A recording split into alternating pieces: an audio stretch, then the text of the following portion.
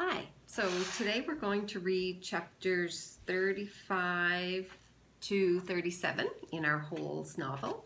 And as I'm reading, I'd like you to think about some things that make Stanley and Zero's trip um, difficult that would require perseverance in order to overcome these things.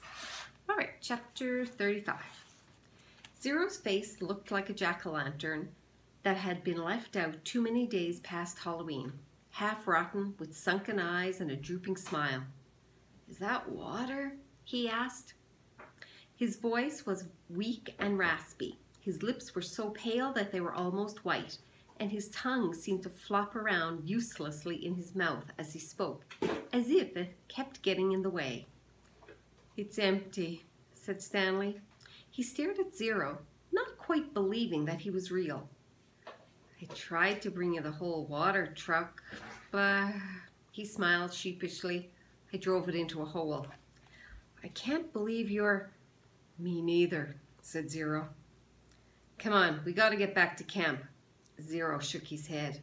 I'm not going back. You have to. We both have to. You want some sploosh? Zero asked. What? Zero shaded his eyes with his forearm. Cooler under the boat, he said. Stanley watched Zero crawl back through his hole. It was a miracle he was still alive, but Stanley knew he would have to get him back to camp soon, even if he had to carry him. He crawled after him and was just able to squeeze his body through the hole. He would never have fit when he first came to Camp Green Lake. He'd lost a lot of weight. As he pulled himself through, his leg struck something sharp and hard. It was a shovel. For a second, Stanley wondered how it got there, but then remembered that Zero had taken it with him after striking Mr. Pendanski. It was cooler under the boat, which was half buried in the dirt. There were enough cracks and holes in the bottom of the boat, now the roof, to provide light and ventilation. He could see empty jars scattered about. Zero held a jar in his hand and grunted as he tried to unscrew the lid. What is it? Sploosh. His voice was strained as he worked on the jar. That's what I call it. They were buried under the boat. He still couldn't get the lid off. I found 16 jars. Here, hand me the shovel. Stanley didn't have a lot of room to move. He reached behind him, grabbed the wooden end of the shovel, and held it out to Zero, blade first. Sometimes you just have to, Zero said, then hit the jar against the blade of the shovel, breaking the top of the jar clean off. He quickly brought the jar to his mouth and licked the sploosh off the jagged edges before it spilled. Careful, Stanley warned.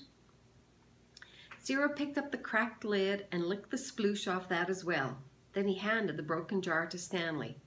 Drink some. Stanley held it in his hand and stared at it a moment. He was afraid of the broken glass. He was also afraid of the sploosh. It looked like mud. Whatever it was, he realized it must have been in the boat when the boat sank. That meant it was probably over a hundred years old. Who knew what kind of bacteria might be growing in it? It's good, said Zero, encouraging him. He wondered if Zero had heard of bacteria. He raised the jar to his mouth and carefully took a sip. It was a warm, bubbly, mushy nectar, sweet and tangy. Felt like heaven as it flowed down his dry mouth and down his parched throat. He thought it might have been some kind of fruit at some time, perhaps peaches. Zero smiled at him. I told you it was good. Stanley didn't want to drink too much, but it was too good to resist. They passed the jar back and forth until it was empty. How many are left? he asked. None, said Zero. Stanley's mouth dropped open. Now I have to take you back. I'm not digging any more holes, said Zero. They won't make you dig, Stanley promised. They'll probably send you to the hospital, like, like Barf Bag. Barf Bag stepped on a rattlesnake, said Zero. Stanley remembered how he'd almost done the same. I guess he didn't hear the rattle. He did it on purpose, said Zero. You think? He took off his shoe and sock first. Stanley shivered as he tried to imagine it. What's Mar Ya La O Oo? asked Zero. Zero concentrated hard. Mar Ya La O Oo. I have no idea. I'll show you, said Zero. He crawled back out from under the boat. Stanley followed. Back outside, he had to shield his eyes from the brightness. Zero walked around to the back of the boat and pointed to the upside down letters. Stanley smiled. Mary Lou. It's the name of the boat. Mary Lou. Zero repeated, repeated, studying the letters. I thought Y made the Y sound. It does, said Stanley, but not when it's at the end of the word. Sometimes Y is a vowel and sometimes it's a consonant. Zero suddenly groaned. He grabbed his stomach and bent over. Are you all right? Zero dropped to the ground. He lay on his side with his knees pulled up to his chest. He continued to groan. Stanley watched helplessly. He wondered if it was the sploosh. He looked back toward Camp Green Lake. At least he thought it was the direction of Camp Green Lake. He wasn't entirely sure. Zero stopped moaning, and his body slowly unbent. I'm taking you back, said Stanley. Zero managed to sit up. He took several deep breaths. Look, I got a plan so you won't get in trouble, Stanley assured him. Remember when I found the gold tube? Remember I gave it to X-Ray and the warden went crazy, making us dig where she thought X-Ray found it? I think if I tell the warden where I really found it, I think she'll let us off. I'm not going back, said Zero. You've got nowhere else to go, said Stanley. Zero said nothing. You'll die out here, said Stanley. Then I'll die out here. Stanley didn't know what to do. He had come to rescue Zero and instead drank the last of his sploosh. He looked off into the distance. I want you to look at something. I'm not. I just want you to look at that mountain up there. See the one that has something sticking up out of it?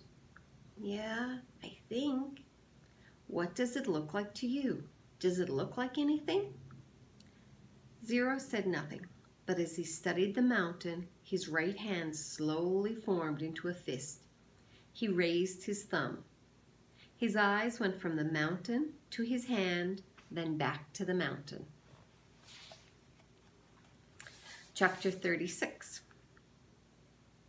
They put four of the unbroken jars in the burlap sack in case they might be able to use them. Stanley carried the sack. Zero held the shovel. I should warn you, Stanley said, I'm not exactly the luckiest guy in the world. Zero wasn't worried. When you, spell, when you spend your whole life living in a hole, he said, the only way you can go is up.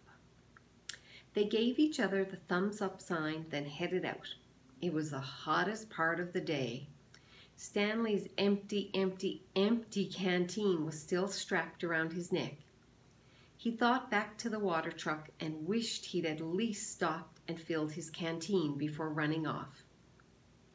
They hadn't gone very far before Zero had another attack. He clutched his stomach as he let himself fall to the ground. Stanley could only wait for it to pass. The sploosh had saved Zero's life, but it was now destroying him from the inside.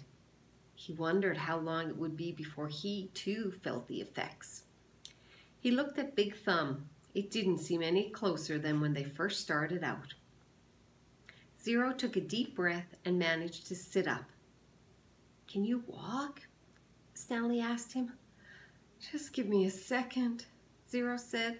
He took another breath, then, using the shovel, pulled himself back to his feet. He gave Stanley the thumbs up sign and they continued. Sometimes Stanley would try to go for a long while without looking at Big Thumb. He'd make a mental snapshot of how it looked, then wait maybe 10 minutes before looking at it again to see if it looked to see if it seemed closer. It never did. It was like chasing the moon. And if they ever reached it, he realized, then they'd still have to climb it. I wonder who she was, said Zero. Who? Mary Lou, said Zero. Stanley smiled. I guess she was once a real person on a real lake. It's hard to imagine. I bet she was pretty, said Zero. Somebody must have loved her a lot to name a boat after her. Yeah, said Stanley. Bet she looked great in a bathing suit, sitting in a boat while her boyfriend rowed. Zero used the shovel as a third leg. Two legs weren't enough to keep him up. I got to stop and rest, he said after a while. Stanley looked at Big Thumb. It still didn't look any closer. He was afraid if Zero stopped, he might never get started again. We're almost there, he said. He wondered which was closer, Camp Green Lake or Big Thumb. I really have to sit down, just see if you can go a little. Zero collapsed.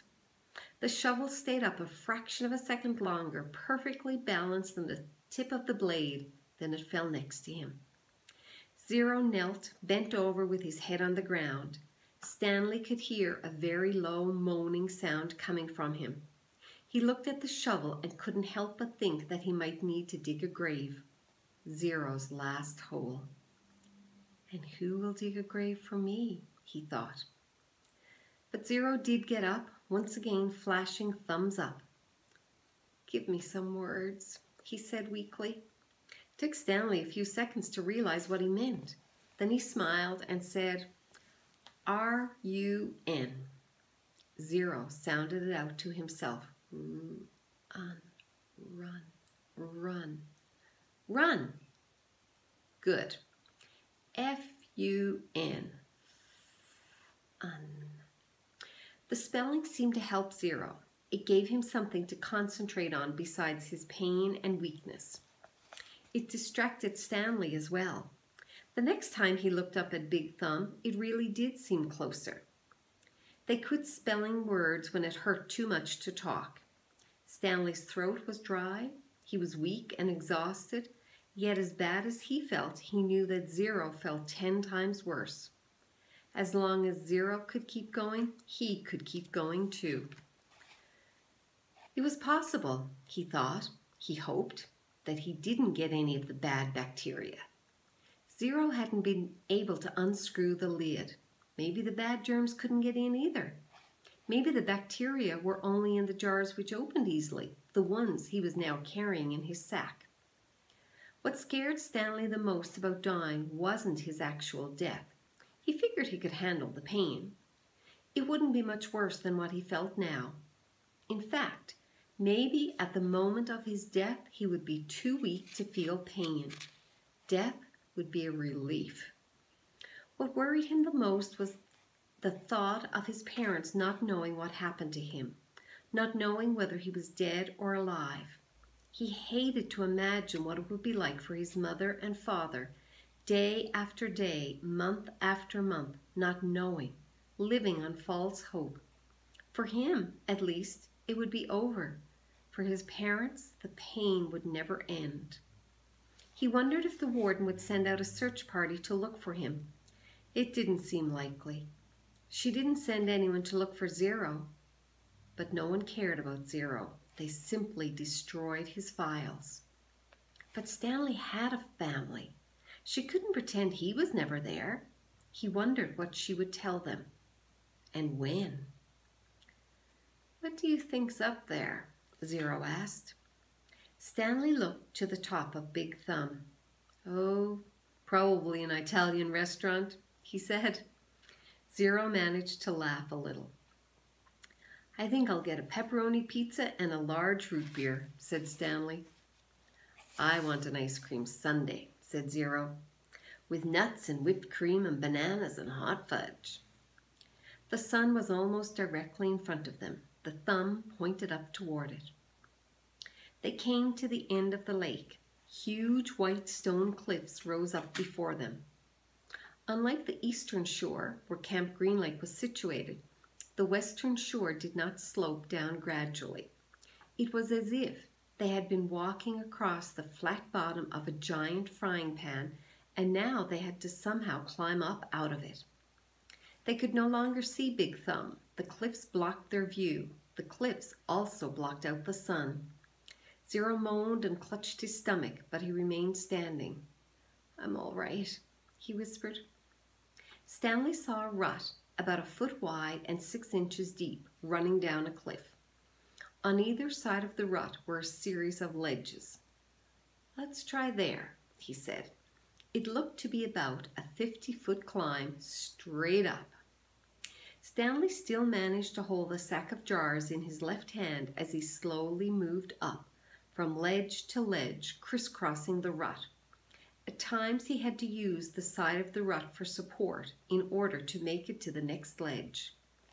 Zero stayed with him somehow. His frail body trembled terribly as he climbed the stone wall. Some of the ledges were wide enough to sit on. Others struck out no, stuck out no more than a few inches, just enough for a quick step. Stanley stopped about two thirds of the way up on a fairly wide ledge Zero came up alongside him. You okay? Stanley asked. Zero gave the thumbs up sign. Stanley did the same. He looked above him. He wasn't sure how he'd get to the next ledge. It was three or four feet above his head, and he didn't see any footholds. He was afraid to look down. Give me a boost, said Zero. Then I'll pull you up with the shovel. You won't be able to pull me up, said Stanley. Yes, I will, said Zero. Stanley cupped his hands together and Zero stepped on his interwoven fingers. He was able to lift Zero high enough for him to grab the protruding slab of rock. Stanley continued to help him from below as Zero pulled himself onto the ledge. While Zero was getting himself situated up there, Stanley attached the sack to the shovel by poking a hole through the burlap. He held it up to Zero. Zero first grab, grabbed hold of the sack, then the shovel. He set the shovel so that, the, so that half the blade was supported by the rock slab. The wooden shaft hung down toward Stanley. Okay, he said. Stanley doubted this would work. It was one thing for him to lift Zero, who was half his weight. It was quite another for Zero to try to pull him up. Stanley grabbed hold of the shovel as he climbed up the rock wall, using the sides of the rut to help support him. His hands moved one over the other up the shaft of the shovel. He felt Zero's hand clasp his wrist. He let go of the shaft with one hand and grabbed the top of the ledge. He gathered his strength and for a brief second seemed to defy gravity as he took a quick step up the wall and, with Zero's help, pulled himself the rest of the way over the ledge. He caught his breath. There was no way he could have done that a few months ago. He noticed a large spot of blood on his wrist. It took him a moment to realize that it was Zero's blood. Zero had deep gashes in both hands. He had held onto the metal blade of the shovel, keeping it in place as Stanley climbed. Zero brought his hands to his mouth and sucked up his blood. One of the glass jars had broken in the sack. They decided to save the pieces. They might need to make a knife or something. They rested briefly, then continued on up. It was a fairly easy climb the rest of the way. When they reached flat ground, Stanley looked up to see the sun, a fiery ball balancing on top of Big Thumb. God was twirling a basketball. Soon they were walking in the long, thin shadow of the thumb. Chapter 37 We're almost there, said Stanley. He could see the base of the mountain. Now that they really were almost there, It scared him. Big Thumb was his only hope. If there was no water, no refuge, then they'd have nothing, not even hope. There was no exact place where the flat land stopped and the mountain began. The ground got steeper and steeper, and then there was no doubt that they were heading up the mountain. Stanley could no longer see Big Thumb. The slope of the mountain was in the way. It became too steep to go straight up. Instead, they zigzagged back and forth, increasing their altitude by small increments every time they changed directions. Patches of weeds dotted the mountainside. They walked from one patch to another, using the weeds as footholds.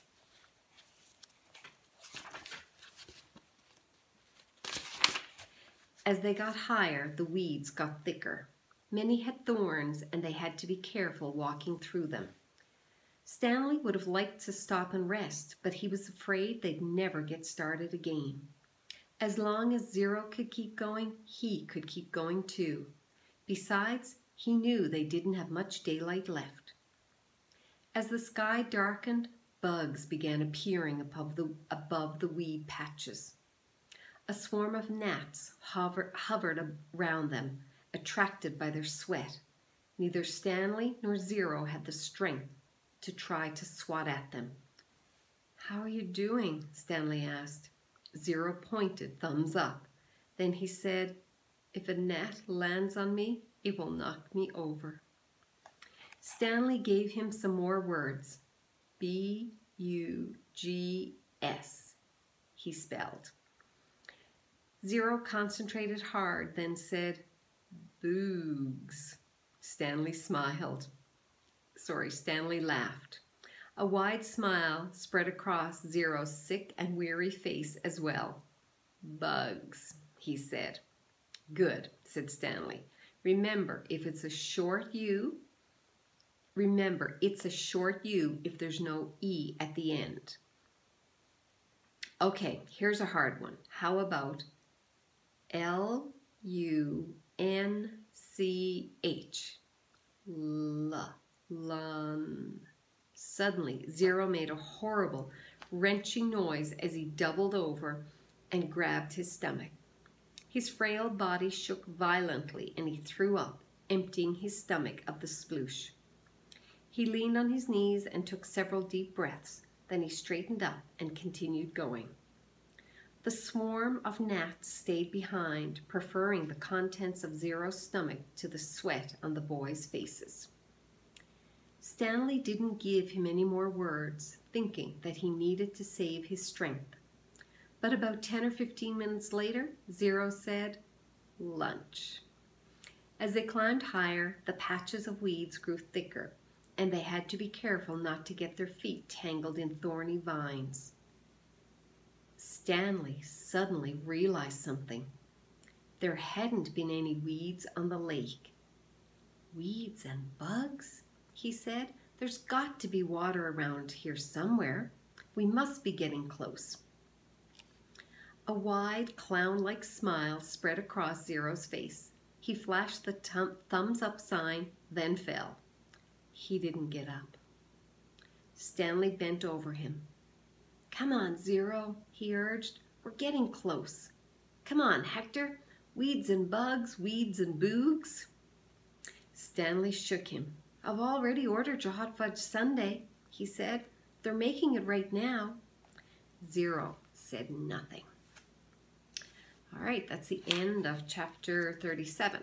So think about um, perseverance. What, um, what were some of the struggles that Stanley and Zero had as they climbed up um, across the lake and up to Big Thumb? And um, how was perseverance necessary in order to survive that trip.